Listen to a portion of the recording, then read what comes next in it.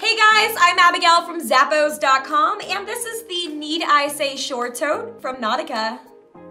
This tote is crafted with a man-made exterior and it's available in a variety of colorways. I am loving how colorful the Nautica logo is throughout this particular colorway. I think it adds a super fun twist to this bag. There's a zipper closure that will open up the inside. You will find it's lined on the inside. There's a zipper pocket at the back. It's gonna be a great place to store items that you wanna keep hidden. There are two additional slip pockets up front that will provide you with plenty of storage to carry everything you need.